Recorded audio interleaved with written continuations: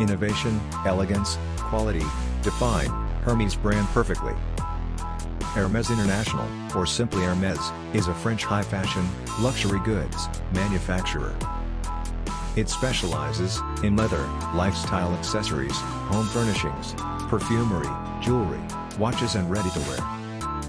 Founded in 1837 by Thierry Hermes.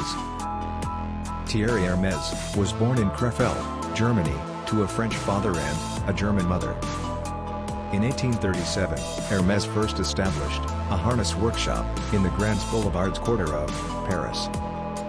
Mid-1930s, Hermes employed Swiss watchmaker Universal Genève as the brand's first and exclusive designer of timepieces, a line of men's wrist chronograph. Its logo, since the 1950s, is of a drip carriage with horse. Nadezhda Yakobolsky is the current creative director. Harnesses and bridles for the carriage trade, winning awards, first prize in its class in 1855 and again, in 1867 at the Expositions Universelle in Paris. Hermes' son, Charles Emile, took over management from his father in 1880 and moved the shop to 24 Rue du Faubourg Saint-Honoré.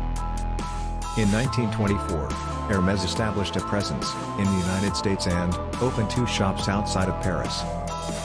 In 1929, the first women's couture apparel collection was previewed in Paris. Sac à Dépêches in 1935, later renamed the Kelly bag after Grace Kelly. The scarf, or carré was introduced in 1937. In 1949, the same year, as the launch of the Hermes silk tie, the first perfume, Eau was produced. Since 1951, the company has created a number of scents for both men and women, as well as unisex lines. Crystal Glass, manufacturer Saint Louis, the oldest crystal company in the world, since its founding in 1586, it has drawn design inspiration from periods of the 19th and 20th centuries.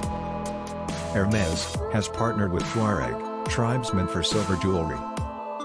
They included the Python motorcycle jackets and ostrich skin jeans. From the 1980s, tableware became a strong segment of the firm. In 1997, Jean-Louis hired iconoclastic, Belgian designer Martin Margiela, to supervise women's ready-to-wear. The Hermes Foundation was launched in 2008, it is chaired by Pierre-Alexis Dumas, the artistic director of Hermes. The scarves have been worn by an array of celebrities, actress Anne Hathaway, in the film The Princess Diaries, 2001.